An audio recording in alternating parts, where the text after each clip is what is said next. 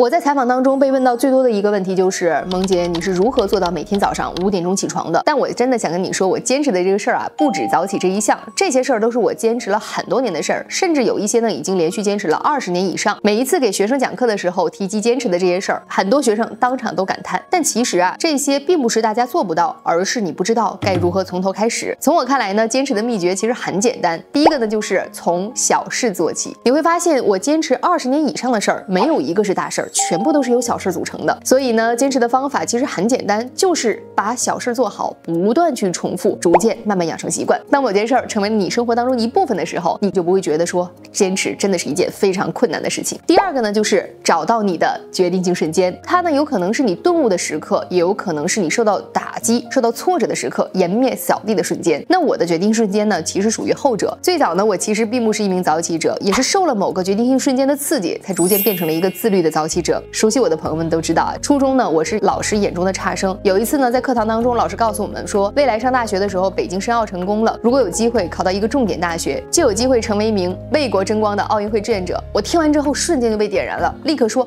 我也要做一名奥运会志愿者。结果这班主任啊，当场做了一个调查，他对全班班同学问啊，说你们觉得张萌能成为一名奥运会志愿者的，请把手举起来。你敢相信吗？全班只有我一个人举了手，在场所有同学都不相信，像我这种差生还能考上重点大学。也就是从那一刻起，我受到了特别大的刺激，我整个人都变了，变得异常努力，每天天刚亮就起床，深夜还在挑灯夜读，最后不但成为了一名奥运会志愿者，还当上了火炬手。其实啊，这就是一个决定性瞬间，不仅让我实现了梦想，也促成我坚持早起的好习惯。到现在呢，我带领了全国各地的很多想要改变但苦于无法坚持打卡的小伙伴们，一起坚持早起打卡，有上万名小。小伙伴们通过早起实现了自己阶段性的梦想。如果你也想跟萌姐一起早起，可以在评论区扣“早起”二字，我来邀请你。